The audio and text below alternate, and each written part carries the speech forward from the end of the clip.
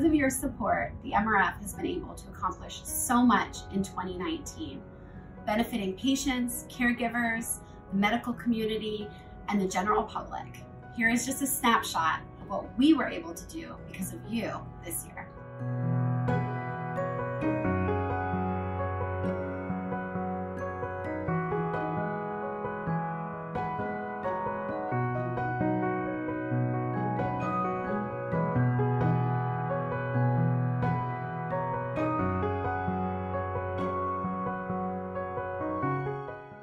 Each year, over 100 melanoma advocates, patients, and caregivers come from across the country to knock on Congress's front door and tell them how melanoma has impacted their lives. Our advocates have also worked really hard to help in overturning bans in sunscreen in school, as well as raise the limit for tanning bed usage to 18 and over. This year, the Miles for Melanoma program, which was held in 15 cities across the country, raised $1,073,489.62. This resulted in $250,000 in research grants and the funding of three science meetings. Woo. The Miles for Melanoma program gives those impacted by melanoma an outlet to share their story and to celebrate the advances in melanoma treatment. This past year, people across the nation came together to raise awareness about melanoma and raise funding for research. We kicked off the galas in Denver and ended in New York with Katie Couric as our MC. We are so grateful for your support.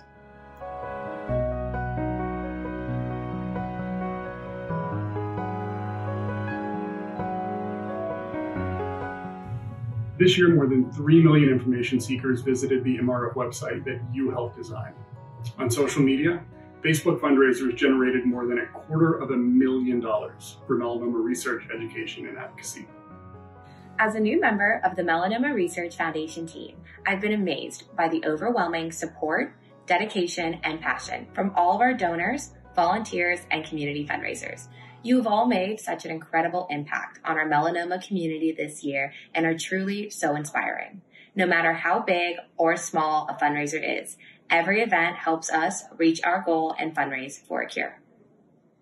What an amazing time we're living in for melanoma research. When I was diagnosed with melanoma in November of 2009, there were very few treatment options.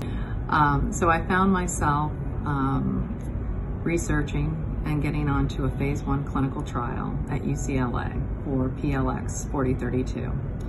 This drug soon turned to be one of the fastest drugs ever approved by the FDA. I became a super responder.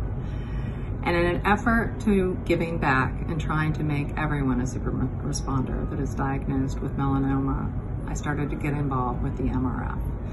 In direct response to our advocates' hard work, the Melanoma Research Foundation has been able to double defense-funded melanoma research, bringing it from 10 million to $20 million.